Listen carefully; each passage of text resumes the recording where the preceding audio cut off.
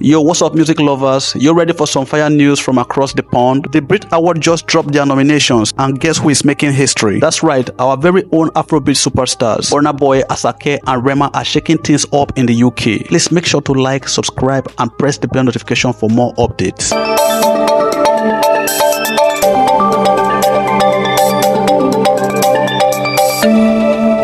Get ready to scream because Burna Boy and Asake are both going head to head in the International Artist of the Year category. They are sharing the spotlight with some of the biggest names in the music right now, like Taylor Swift, SZA, and Miley Cyrus. This is huge. Afrobeat is officially breaking through and the world is taking notice. But wait, there's more. Rema's mega hit song Calm Down is up for International Song of the Year, fighting for the crown against global smashers like Billie Eilish and Doja Cat. Can you imagine? It's an Afrobeat anthem going toe to toe with hottest track on the planet. This ain't ain't just a nomination, it's a statement. While we are celebrating our Afrobeat farm, let's also give props to Raye who made history with a whopping 7 nominations. The first artist ever to achieve that feat at the Brits. It's a night of first legends and rising stars. Mark your calendar because the 2024 Brit Award is happening on Saturday, March 2nd and you don't want to miss a second. It's Afrobeat versus the world and we are all rooting for our Nigerian heroes. Who will take home the trophy? Only time will tell but one thing is for sure, Afrobeat is here to stay. So get ready to turn up the volume, rep your favorite favorite artists and join the hype. This is a historic moment for Afrobeat and Nigerian music. Let's make some noise for Burna Boy, Asake, Arema, and all the nominees. Let's show the world the power of African music. If you enjoy the program, like, subscribe, and leave your comment below. I'm your boy Saint Leo. See you in the next video.